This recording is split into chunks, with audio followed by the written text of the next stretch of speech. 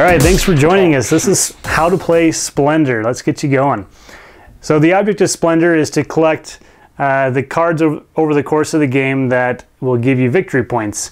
Some cards don't have any victory points. Other ones are worth, you know, one, two, three, four, five points.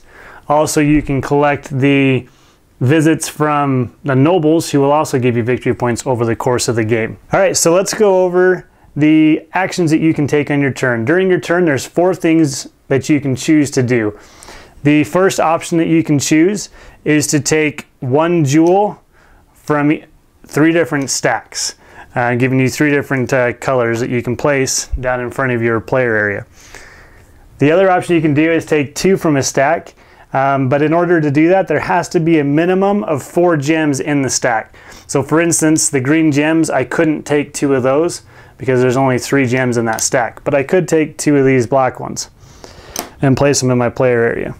The third option that you can do is you can choose a card in play and reserve it, keeping it in your hand, and later on you can go ahead and purchase it. Also, you'll take a gold chip, which is basically a, a wild. Um, when you purchase, you can use this to count as any color. The th last option that you can do is you can purchase a card. You can purchase cards from the ones face up in the table, or you can purchase cards that you've reserved into your hand. Each card has a cost in order to purchase it. Um, for instance, this red gem here costs three white gems.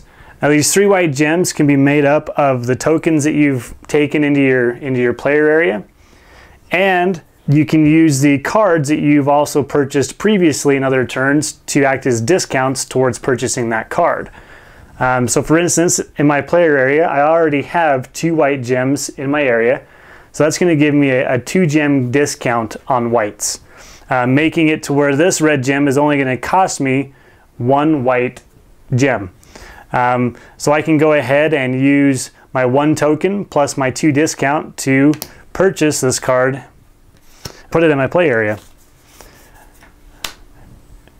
After I've done that, it goes in my play area. And now I have a bigger discount for purchasing um, in the future using red gems. At the end of your turn, we'll look up here at the nobles, and if you meet any of the requirements on one of the nobles, they'll come and visit you and you'll get those victory points.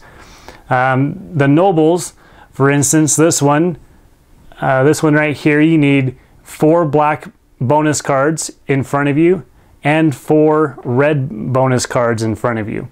If this is true, the noble will come and visit you. So down at our play area here, I do have the four, four black gems, as well as purchasing this last red gem gave me four red gems. So that satisfies the requirement of this noble. So I can go ahead and place him in my area. And he's now worth three points for me at the end of the game. The first one to get to 15 points over the course of the game will trigger the end, end of the game and everybody will be able to take an additional action until everybody's taken the same amount. Once everybody has taken equal amount of turns, whoever has the most points is going to win the game.